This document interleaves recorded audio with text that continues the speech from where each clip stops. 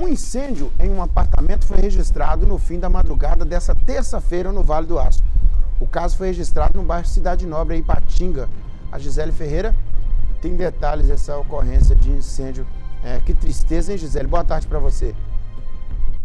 Oi, Nico. Boa tarde para você, boa tarde para quem nos acompanha aqui no Balanço Geral.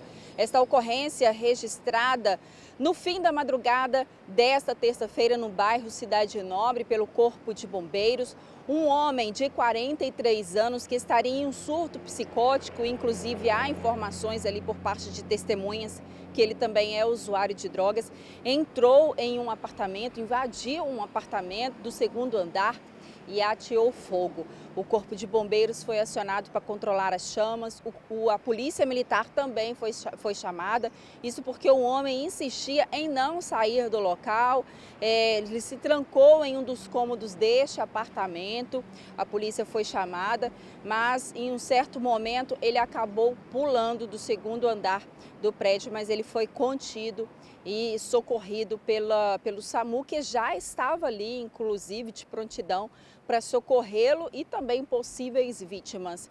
É, felizmente não houve nenhuma outra vítima a não ser este, este, este senhor, né, este homem de 43 anos, que foi contido ali pelos militares. Ah, as informações ali é que o prédio não corre risco de desabar, foi feita uma vistoria ali pelo corpo pelo próprio Corpo de Bombeiros, os outros apartamentos não correm risco, né?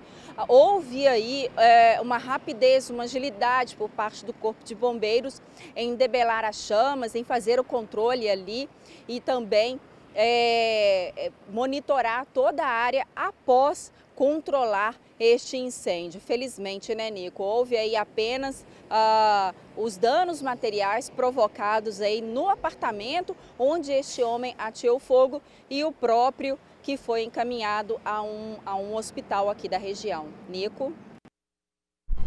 É, a gente está falando, né, em, menos mal que só perdas materiais, né? Apesar num tempo de dificuldade desse, né?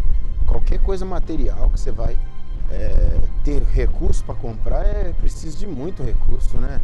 É terrível, mas ainda bem que não teve nenhum problema com a vida humana, que é a principal, né? Obrigado, viu, Gisele?